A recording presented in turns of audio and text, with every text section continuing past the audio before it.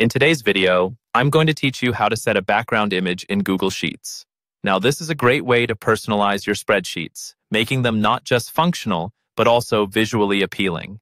Whether you're working on a project, creating a plan, or simply organizing data, adding a background image can give your spreadsheet that extra touch.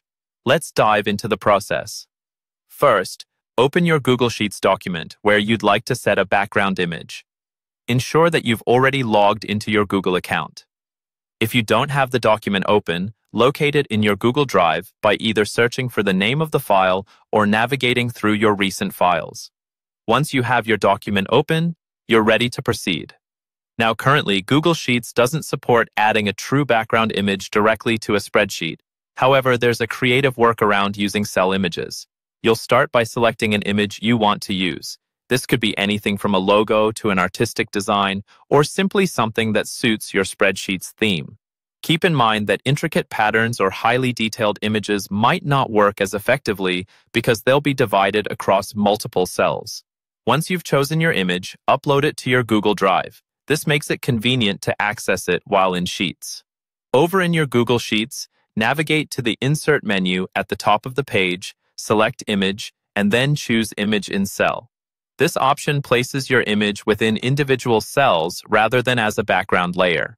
After selecting Image in Cell, a dialog box will open for you to browse and choose your uploaded image from your Google Drive. Click on the image once you've found it. The image will insert into the selected cell, but it may not appear as intended. Here's where a little bit of adjustment may be necessary to fit the image across several cells, in effect, creating a makeshift background. To do this, merge cells together where you want the image to span. Highlight the range of cells you wish to cover, then right-click and select Merge Cells. After you've merged the cells, you can manipulate the size and position of the image. Click on the image to drag it into the merged cells and adjust the corners to resize it accordingly. Remember to adjust as needed to maintain the aspect ratio so your image isn't stretched or compressed unnaturally. Take a moment to see how your image looks within your spreadsheet.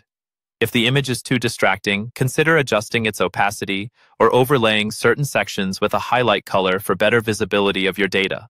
There you have it, a simple way to add a personal touch to your workbooks. With this technique, your Google Sheets can look as good as they are functional. Thank you for tuning in, and I hope you found this guide helpful.